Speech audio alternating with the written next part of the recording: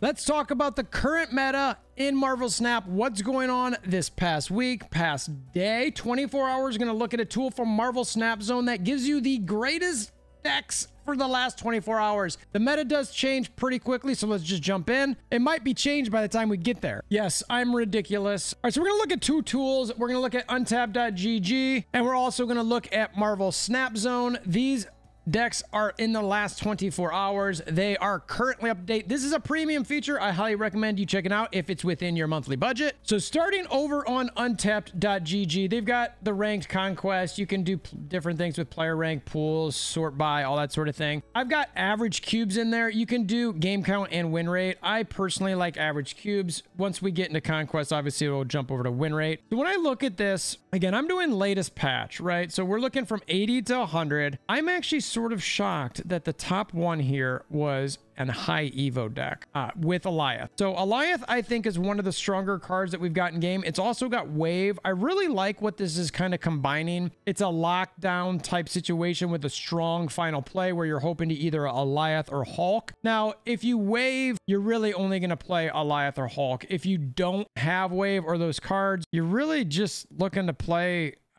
gosh, at that point, you've probably determined if you've won or lost, to be honest with you, given the quality of the other cards. You really need to try to get this locked in, no pun intended, uh, by three, four. And so you know that what you're happening with five, because if you're looking at playing any of these cards on six, you're probably in a bad shape. Cerebro three, is Ravonna in this? No. It's your old school uh, Cerebro th- three with the Iron Man Mystique uh, type situation uh, where Bast dings him. This was something a lot of people talked about where they had hoped that Ravonna would still reduce the cost of cards like Mystique and Iron Man after they've been basted. That does not happen. I think that would be super cool if that was the case, but I understand why it might not be seen. But I was really surprised to see that high of an average rate for Cerebro 3. Move, still doing solid. Move with Alioth. That's really interesting. Again, Wave built into that. High Evo yet again. This one has got the... Now, Doom with Wave, I feel like you got a little bit more flexibility on that six besides just potentially Alioth or Hulk. I mean, when I look at this, I wonder if is there a card I could drop? I would probably drop Daredevil in this for a Doom just to give me some more flex options in that final play. I know that Daredevil helps you with that Professor X play on five, but that's really the only reason he's in there. And frankly, if you're playing Jeff, I think that you need to. This is gonna sound terrible to say, but you got to start learning where and when to play Professor X. Sometimes you're going to be burnt. Yes, Daredevil is nice, but it's a crutch that I think you want to learn to ditch and eventually get a little bit better with so you know where to play and build up. I think Doom is a much better option there. More high Evo. This, you know, this is sort of crazy. I did not expect to see as much high Evo here.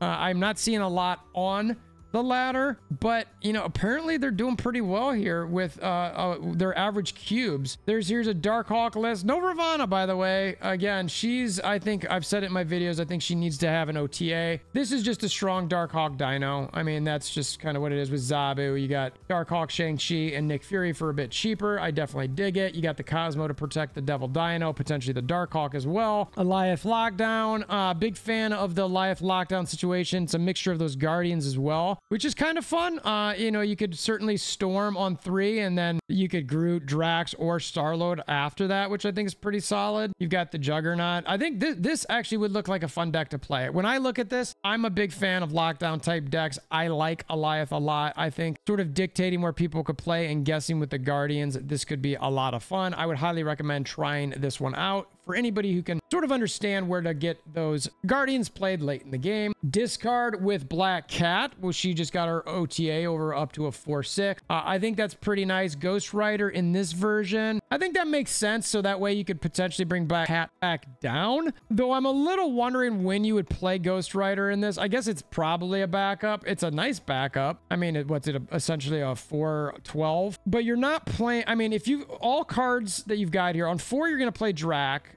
On five, you're going to play likely MODOK. I guess you could save MODOK for six and do it that way and then not stress about it. But eh, this is a fun, interesting discard deck. I'd maybe ditch Blade as well. I know they reworked him. He's a bit better, but I'm, I'd still rather get something a little bit. I don't, what would I rather have there? I'd maybe consider a high card. I don't know. That's a tough call there. I guess Blade maybe is fine. A General Alioth, this is, this is actually more of a Sauron deck with Alioth. Makes sense. It's a nice backup compared to some of the other stuff if you don't get those lines. This is actually, again, This is another deck that I would love to play. I think it looks a lot of fun, especially when you get to play on with Sauron. If you don't get to play Sauron and you've got Alioth sitting there, you have the chance to win pretty easily. I mean, especially when you've got a Red Skull. I mean, you're doubling things. It'd be interesting to see if you could play a wave into this. Invisible Woman, I don't know. I, would maybe lean into ditching an Invisible Woman and then considering a wave maybe. I don't know. Maybe not. I don't know. I like the potential for limiting that last turn, but you also potentially want a Taskmaster and maybe you use one of these high ones if you Sauron. So I don't know if I love that necessarily, but you can also Invisible Woman and hide Maw behind her and get some other cards behind it as well, which is pretty nice. Galactus. So there's been a lot more talk about Galactus. Uh, Orka's interesting. I have not seen an Orka in a Galactus. I wonder how that did. Anybody play uh, Orka with Galactus? Let me know in the comments below. But there has been a resurgence of people getting frustrated with Galactus. I think probably due to Alioth. I played it. I enjoy it. I lost plenty.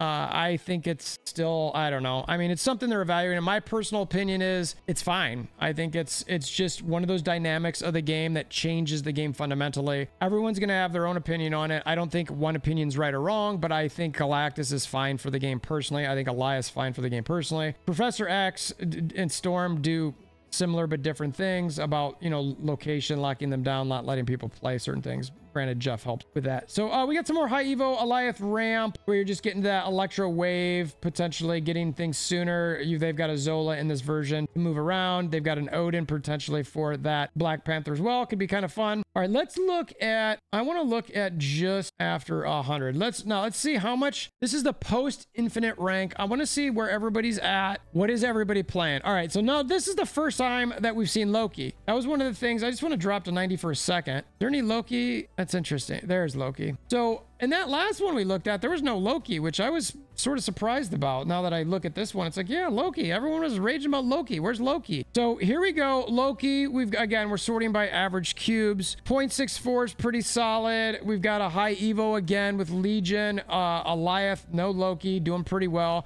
I wonder if some of this might have to do with the collector change. Maybe some of these numbers have dropped off a little bit. I mean, here, the, again, but this is the, that's that Loki particular. So after Infinite, which I used to say this didn't matter, everyone threw around, but I think while some people might prioritize it more than others, I think generally speaking that people take After Infinite more seriously and looking at these decks is much more reliable for looking at what is a current meta. Uh, High Evo again, we talked about that. Alioth, uh, just playing against Sauron Alioth. I don't, I hate that it's called Alioth. It should be Sauron Alioth. Like, come on, like High Evo. I, this is, this one's Alioth for some reason. Like, okay. Hela! Hela, Hela, Hela. Okay. Anything special about this Hela? No, not necessarily. Silver Samurai helping out. No stature, though. Do we have anything that's... Why are we Silver Samurai in here? What am I miss? I mean, I guess... I don't know. I, this is... Uh, there's some cards in here I don't agree with, with this Hela. It seems like it's confused about what it wants to pull. I would hate to Jubilee a Swarm or a Blade. I Silver Samurai my Hela. Like, why am I doing that? Why am I taking a card away from my opponent outside of just being annoying?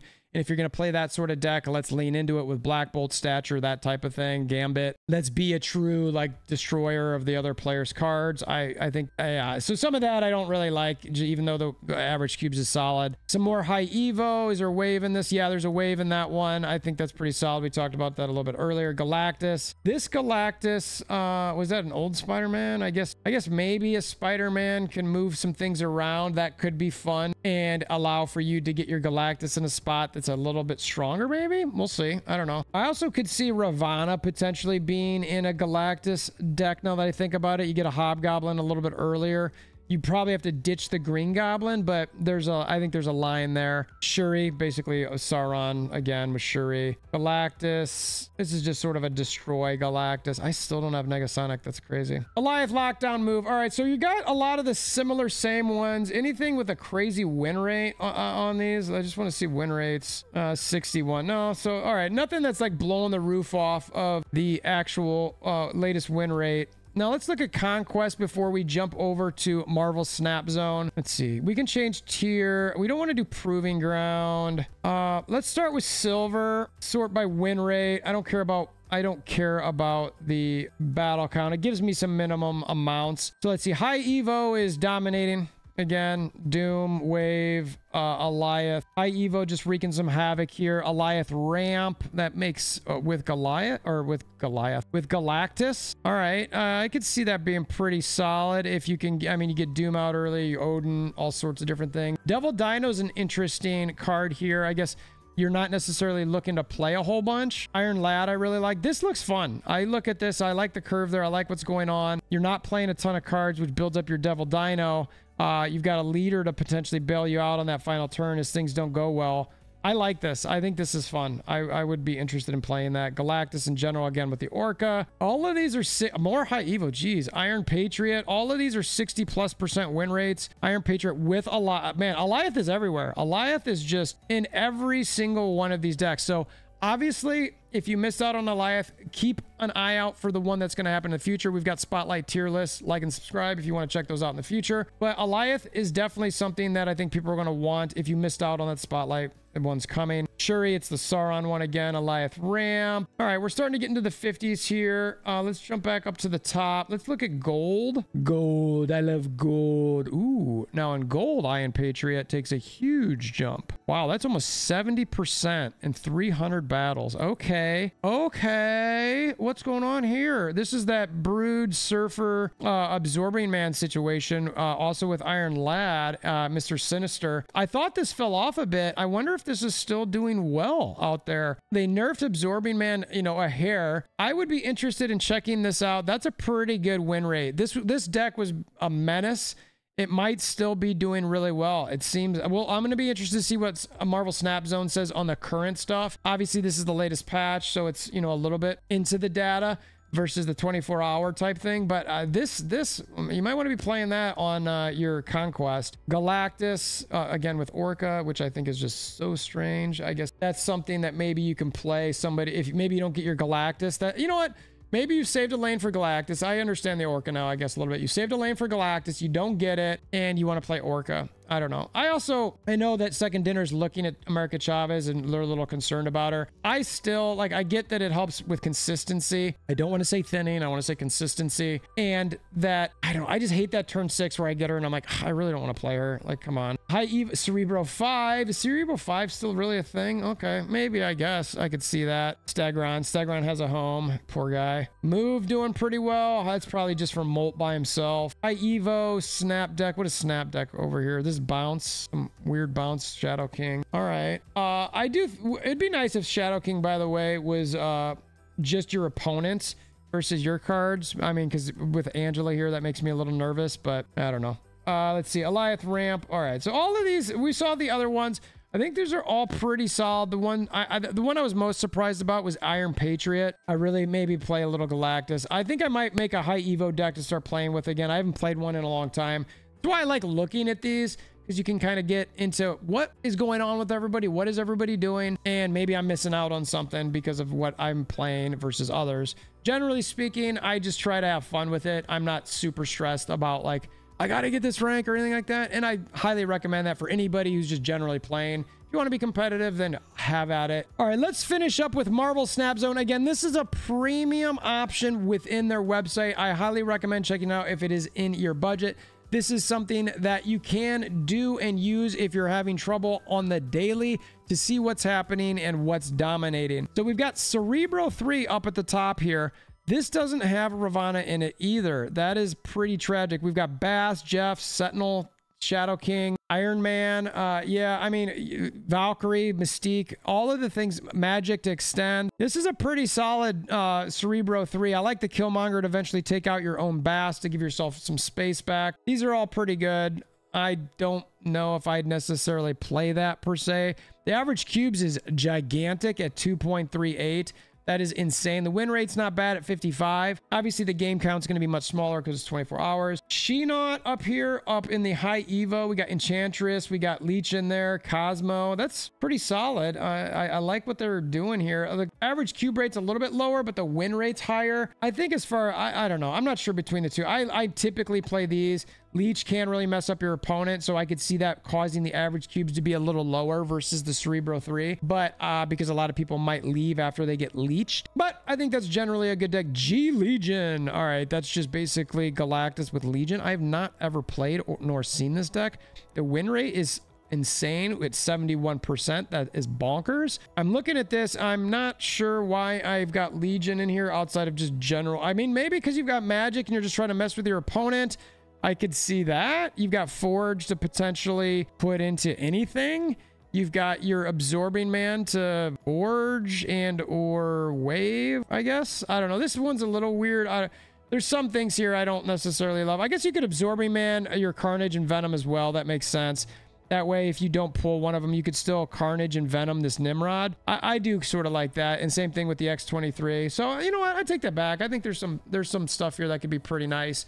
You get Null in there. We've got things happening. Infinites. How is different than the one above it? Let's see. We've got Sunspot, Nebula added to this one. We ditched, no, we still have Magic. We add Jeff. We ditched Cosmo. Nope, we still have Cosmo. We ditched Cyclops, though, which is interesting. I guess maybe you're not expecting to want to ping someone as much. I don't know. The average cube rate's lower and the win rate's lower. So if I'm going to play one of these, I'm playing the top one. We've got a Patriot deck here at 59% with Sur Iron Patriot. Okay, so this is a Surfer Patriot, Iron Surfer Patriot. This is an interesting deck as well. You've got the Brood, the Mo Mojo.